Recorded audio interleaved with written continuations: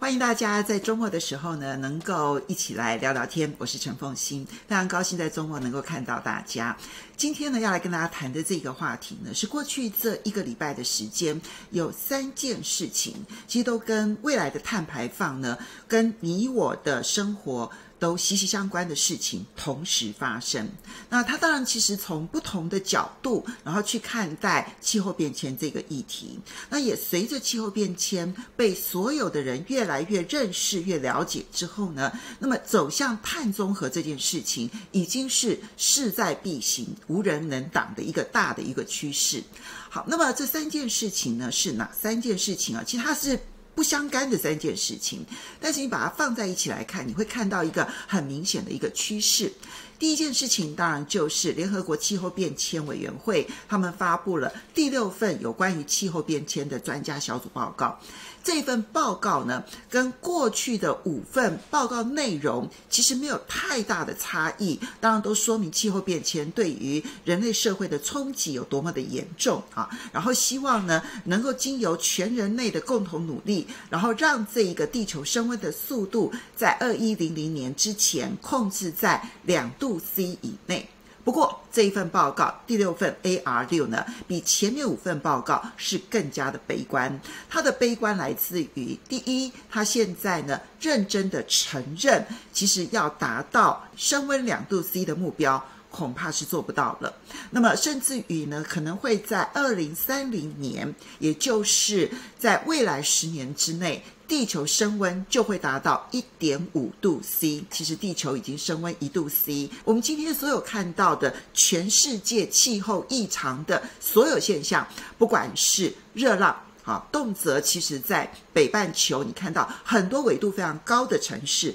出现四十度、五十度，甚至于出现七十度的高温，这些现象未来不但会更常见，甚至于它可能会温度更高。好，那第二个部分呢，是包括了雨水，所有的雨水它会更集中在很少数的时间，然后急剧的降下来，所以那一种。极端的急剧降雨，比如说像台湾而言，我们非常熟悉的，在莫拉克台风的时候，三天三千毫米，那其实是一个非常惊人的一个记录。但未来它很可能会被打破记录。你可以想象，以台湾这样子的一个岛屿去承受三天超过三千毫米。甚至于可能到三千五百、四千毫米这样子的一个惊人记录，其实台湾任何一块土地都承受不住。但是这个在未来其实越来越可能出现。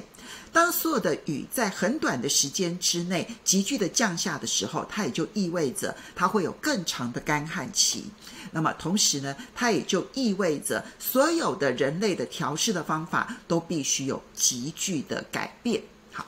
这个呢是这份报告里头开始呼吁全世界去认真的面对，其实气候异常已经出现了。除了我们努力的去减碳之外，其实你只能去面对、去调试、改变你我的生活。那么这份报告对我来说，它最大的意义就是呢，有了这一份更加明确的证据，它就会使得各国。怀疑这个气候变迁的所有相关科学诉求的人，他会变成更加的少数，而就会使得各国有更强大的压力，他必须要在未来的三十年之内，或者是四十年之内，必须要达到碳中和，也就是我现在所使用的所有的能源、所有的产品、所有的服务，它的碳排放。跟我所买下来的，我可以对地球的这一些减碳所做的，甚至于捕捉碳所做的所有的努力加总起来，必须是等于零。走向碳中和之路，在未来各国各个产业各个产品，它都会变成一个明确的趋势。这个明确的趋势，其实等不到 AR 六的报告，我们再看第二则很重要的新闻，那就是呢，苹果最近呢给了一份公告，这一份公告呢要求它所有的供应厂商必须要在二零五零年之前完成碳中和。那你说二零五零年还久啊？现在是二零二一年，还有二十九年，这个时候的公告有什么意义？No。不是只有一份公告说二零五零年我设定的是碳中和，其实它每一年它都设定了它减碳的目标，最终才能够走到那一个碳中和的那一条路。所以，所有跟苹果相关的供应链，那么在台湾，按照商业周刊它最近最新的这一期报道，他们的评估，台湾跟苹果有关的直接的、间接的。间接的、间接的供应链其实多达了一百四十三万家。你说怎么可能那么多？我们看每一年苹果公告的这个供应链加数，不过就是几百家，怎么可能有一百多万家？你要知道，每一家的供应链这是直接相关的，而这个供应链它内部的所有运作，比如说影印机，然后影印机里头的纸，比如它里面的办公器材，它的用品。然后包括了他的员工上下班的碳足迹，通通必须要揭露，所以它影响的是生活百业当中的所有各个行业，你能想象得出来的所有的行业，通通会受到影响。那我们就不要做苹果生意就好了。好，这当然是一种想法。但是苹果的这一份公告，如果再加上联合国我刚刚所提到的气候变迁小组 IPCC AR 六的这份报告，你觉得这会是只有苹果未来要要求做的事情吗？Benz 不会吗？Nike 不会吗？Adidas 不会吗？每一家公司都会，而且每一家公司都会承受它的消费者极大的要求压力，而必须揭露它的碳足迹。同时列出它的碳综合目标，而且每一年都必须要揭露它的碳足迹报告，所以它不是只是苹果供应链的事情，它是在台湾所有做生意的大大小小的公司，全部的公司他们相关的这些事情。那每一家公司必须要做到。多么的认真努力才能够达到那个碳中和？这一期的商业周刊其实有很完整的报道，我在这边不去猎人之美。我觉得大家如果有兴趣的话，可以去看一下这一期的商业周刊。我在这边简单的来说，你可以想象得到吗？就是我每买一样东西，它都必须揭露它的碳足迹，所以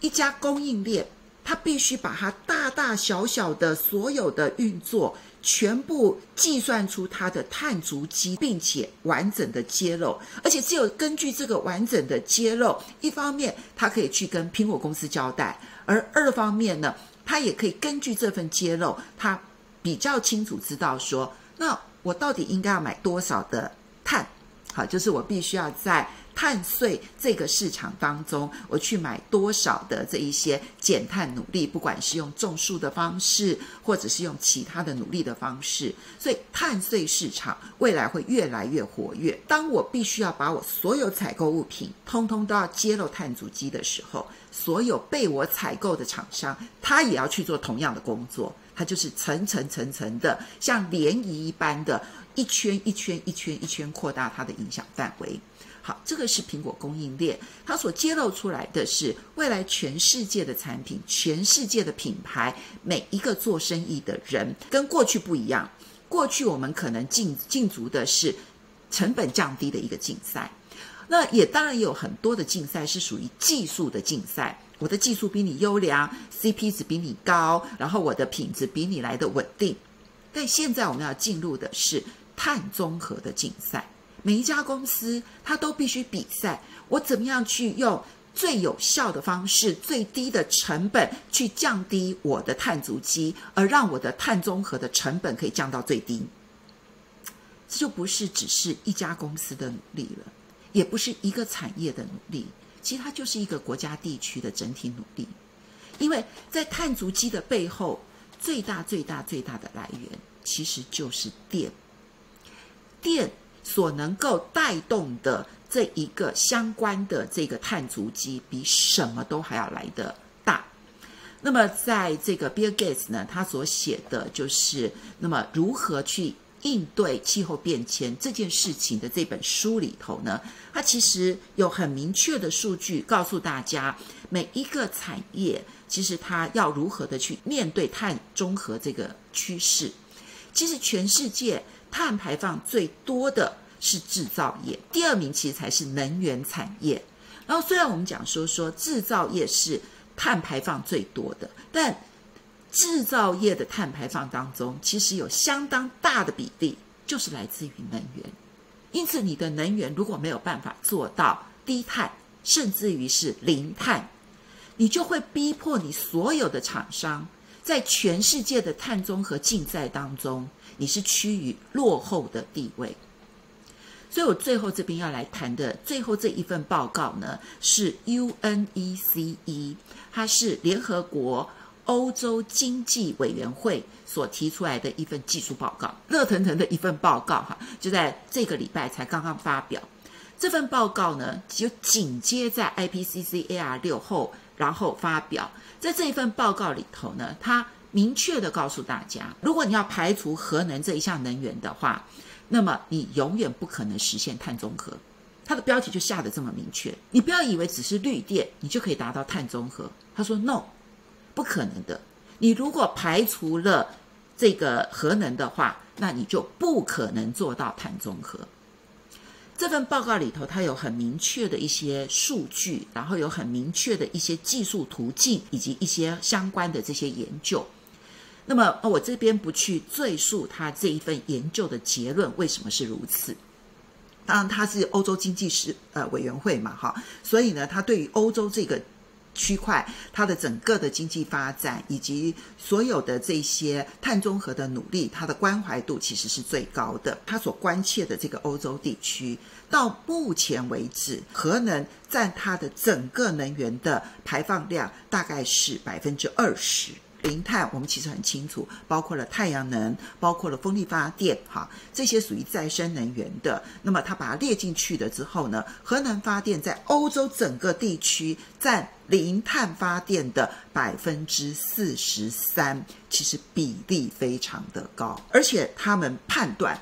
到二零五零年，因为为了要达到碳中和的目标，现在以欧洲地区来说，他们所设定的是二零五零年碳中和。如果你要达到这一个目标的话呢，他们估计核能的需求量会是现在的二点五倍到六倍。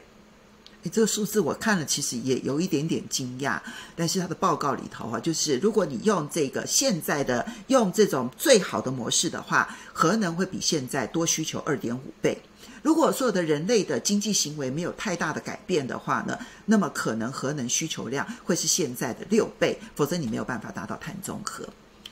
那么这样大的一个需求量。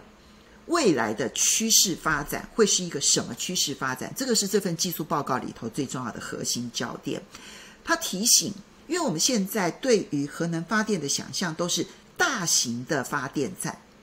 大型的发电厂，就像我们的核一、核二、核三、核四，然后一个发电厂里头可能会有两个、三个这样子的反应炉，然后呢发出来的电力呢，动辄就是嗯几百万千瓦这样。可是呢，他说未来其实呢，最有效益的可能会是一种这种 SMR，哈，SMR 是小型模组反应炉，哈，它就比较便于新建，而且呢可以快速的组装起来。那这个对于去满足很多制造密集的这一些产业，尤其是像炼钢。因为炼钢这个产业，它需要的不只是电力，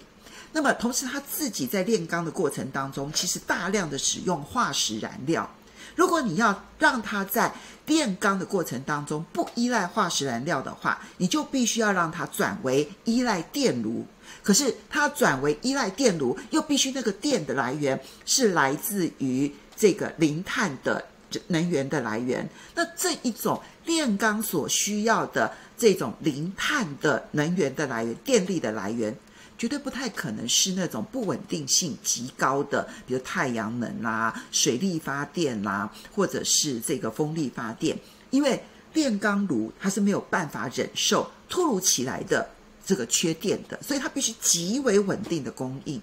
那这个时候，其实这一种 SMR 它的。未来的需求量可能就会变得高很多。除了这个 SMR，就是小这个小型模组核反应器之外呢，他们并且提到了就是第三种微型反应炉，就更小型的微型反应炉，它这个对于各种制造业来讲，其实帮助会更大。所以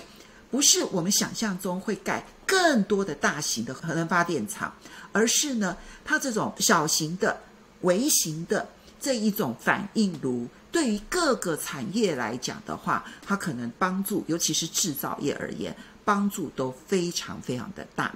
当然，这并不是一个已经百分之百成熟的一种核反应的这个方式，因为大型的这种核能发电厂，其实到目前为止它算是成熟的。但是呢，SMR 现在呢快要进入商转当中，而这个微型反应炉呢，目前为止希望能够在未来几年之内快速的商转。所以它需要大量的资金投入，这也是这个 UNECE 就是联合国欧洲经济委员会发表这份技术报告的很重要的原因。希望鼓励大量的资金，然后跟人才能够投入 SMR 以及微型反应炉的这些相关的研究。我觉得在这边，不管我们是不是支持核能这件事情，我觉得一个大的趋势，我们总要去认识它。这个现在的。大型的核能发电厂，它有它的危机存在。可是呢，你也必须看到我们如何去应对这些事情。你要必须 follow 这些技术上面的一些进展。我觉得现在对台湾来讲，已经不只是缺不缺电的问题，也不只是说我们能不能提供一些低碳的一些能源的问题，而是如果核能未来它真的是一个重要的趋势的时候，我们现在是连人才都没有。这才是我们现在很严重的危机。全世界现在进入了一个碳中和的竞赛，对台湾来说，产业经济高度依赖全球的趋势。如果我们在碳中和竞赛这个路途上面我们落后了，那就是全台湾所有的产业都必须要跟着落后一大截。这是我们要面对的现实。我觉得这个礼拜的这三份报告提供的那个趋势以及现实，是值得我们所有人都要去关心的。好，非常谢谢大家来收听这一次的 YouTube 的这个内容，非常谢谢大家，但你千万不要忘了哦，一定要按赞，要分享，还要开启小铃铛，要不要谢谢大家，我们下个礼拜再见喽，拜拜。